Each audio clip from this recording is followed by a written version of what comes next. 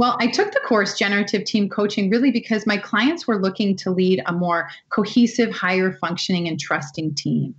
So, in the Invite Change course, uh, generative group coaching, it really gets into the team sovereignty model or framework.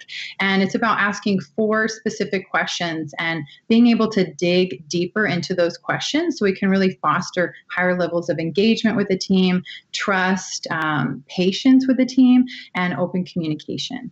Group facilitation and group coaching are a lot different. So, group coaching is really focusing on building the skills to read the energy of the field or the group or the team that you're working with. And it's really focusing on building uh, and co designing agreements so that the team understands what they need to do, how they need to be in order to get um, to the outcome.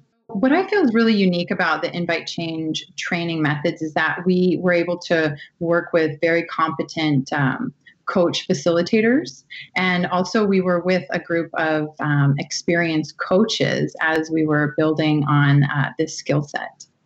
So when I originally took this class from Invite Change, I was working as an internal coach, and re- that this really allowed me to support my um, clients, the leaders within this organization, to see the skills and embody the skills um, so that they could be higher functioning leaders while working with their teams.